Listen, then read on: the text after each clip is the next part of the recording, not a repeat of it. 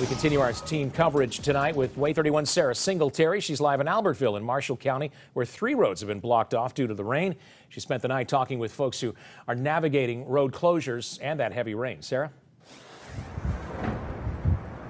Yeah, Dan, that's right. About half a mile this direction is the intersection of White Oak Road and Highway 75. That's where the Marshall County Emergency Management Agency went ahead and barricaded that intersection earlier today because water is pouring over that road. That's actually why I'm here now, a little further away from the intersection, really for my safety because these roads are wet, lots of ponding, lots of water in the roads. This wind is blowing the rain sideways. So if you don't have to be out right now, you're definitely going to want to stay inside, stay off the roads, and be safe.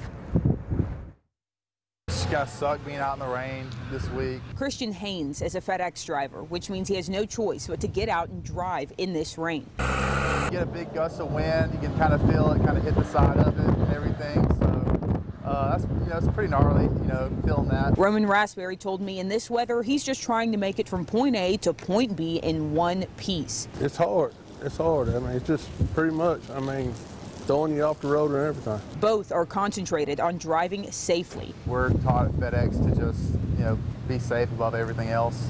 So just got to watch out for hydroplaning. Pretty much just being careful and just driving safe. Right now, three roads are closed in Marshall County. Butler Mill Road before and after the bridge between Madison and Marshall counties, White Oak Road from Highway 75 to Needmore Road, and Rabbittown Road from Turnpike Road to Highway 205. You're expecting it to get worse. You don't really think it's going to lighten up.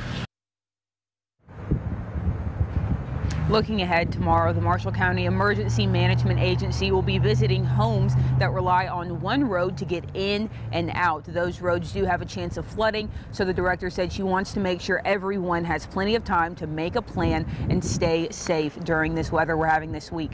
Reporting live in Marshall County, Sarah Singletary, WAAY 31 News.